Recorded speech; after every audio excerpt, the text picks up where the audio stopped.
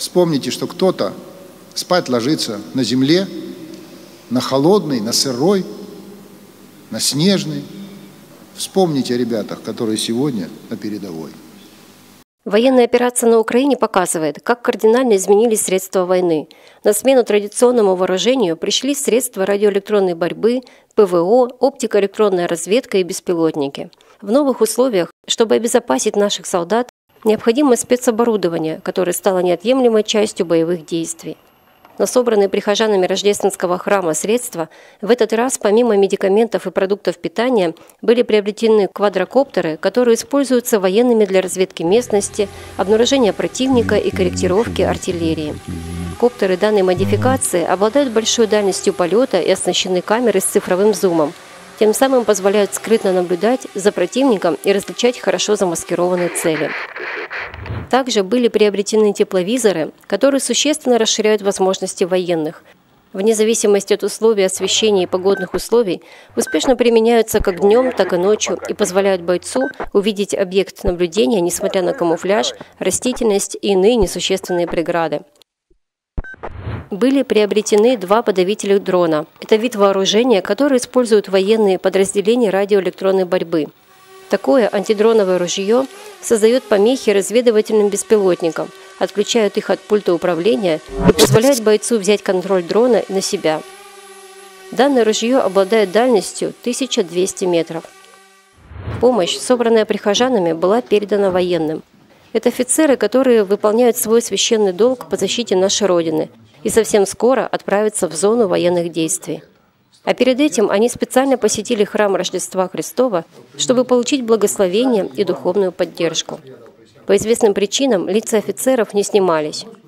Гостей встретил настоятель храма протеерей Александр Игнатов и от имени всего прихода передал спецоборудование. Здесь э, вместо магазина зарядное устройство, а так как оно хватает только на полчаса, мы взяли еще один, что это на час будет. То есть в течение часа можно как бы на 1200 метров наработать для подавления дронов. Ну, вот такая вот ему зарядное устройство, инструкция.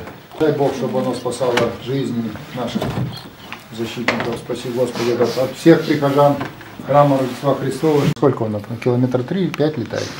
До 10 уйдет. До 10 уйдет? Ну вот, видите. Он по ветру хорошо ведет себя. Ну вот. Вот пусть будет опять на помощь. И э, тепловизор, который, помоги Господи вам, наблюдать. Туда тоже посоветовали именно вот такой взять. Ну и, конечно, вот такой флаг Спаса нерукотворного на ваше подразделение.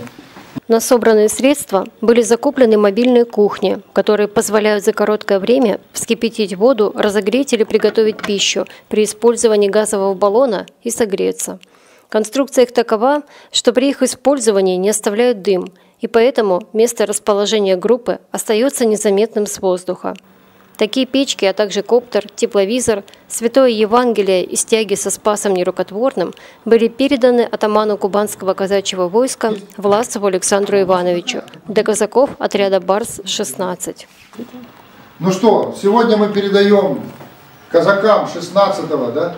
16-го. Сегодня мы передаем 16-го Барса этот стяг, еще несколько стягов тепловизор, наш беспилотник, который собирали прихожане, печки для наших казаков, ну и, конечно, нашу любовь и желание скорее победить и вернуться живыми и здоровыми домой. Спасибо большое, победа будет за нами. Спасибо, Господи. Поддержка защитников нашей Родины является важнейшей задачей для всех нас. Много неравнодушных, добрых людей стараются помочь. Каждое проявление участия – это неоценимая помощь для наших бойцов но главное – молитва и духовная поддержка. Но этот мир зависит от нас с вами. Мы должны приближать его.